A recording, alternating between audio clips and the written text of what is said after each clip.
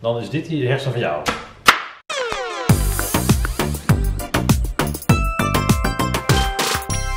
Oké, we doen nou even net of het zondag is, want het is de vlog van zondag. Maar er zijn helemaal geen beelden van zondag.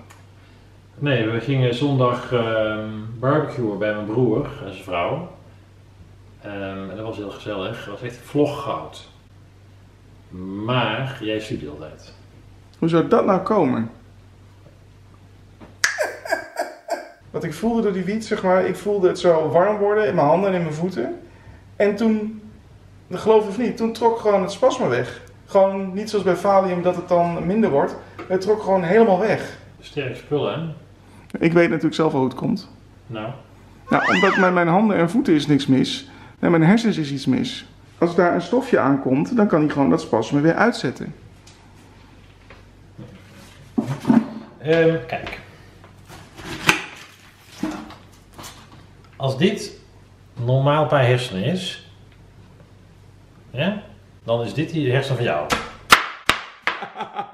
Nou, nou, nou. Ongeveer.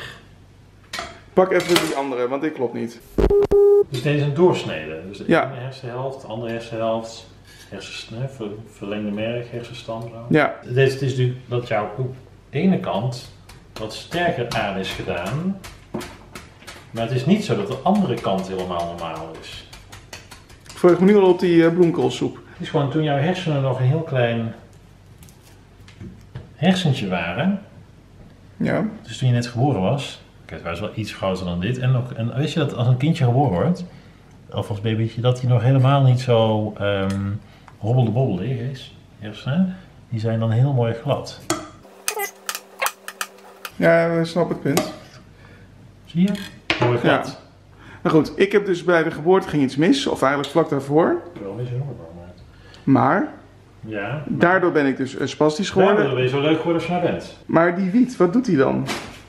Nou, in wiet zitten twee stoffen. Je hebt eh, THC, Dat is zeg maar waar je stoned van wordt. ja.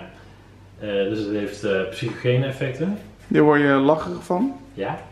Ehm, en CBD, cannabidiol of zoiets, weet ik veel. Mhm. Eh, en dat is wat tegen pijn bij spasmus gedaan werkt. Ja, want eh, wiet, eh, daarvan is bewezen dat het werkt tegen misselijkheid en Bij kanker. bij kanker en Dat is met name de THC. ja, Dus dan word je en minder misselijk. ja, nou, kon slechter. Ja, maar in mijn geval werkt de CBD in die olie dus tegen het spasma en tegen pijn. Eh, ja, dus wat je kunt doen is dat je, ehm, eh, als je nou wiet neemt, waar je hebt verschillende soorten, met veel CBD en weinig THC, dan heb je wel de lol dat je eh, minder pijn hebt, maar niet, Maar je bent toch dokter? ja, Hoe kun je dan wiet voorschrijven? ja je hebt medicinaal wiet. En dat staat onder toezicht van de overheid of zo? Ja. Echt? Ja. Wist ik al lang. Het werkte dus echt heel erg goed. Gewoon, Ja. het- maar het is dus niet iets homeopathisch. Dat ik denk dat het werkt. Ja, nee, nee. Dus eh, met 6 miljard keer verdund en dan... eh dit is wetenschappelijk bewezen. Keiharde wetenschap. Maar moet nu iedereen aan de wiet? Is iedereen spastisch? Oh, ga je het zelf nog proberen? Nee. Ik kan naar eer en geweten zeggen dat ik nog nooit drugs heb gebruikt en dat wil ik graag houden. Kijk eens mijn kant op. Kun je heel even dit doen? Oh Dankjewel. god.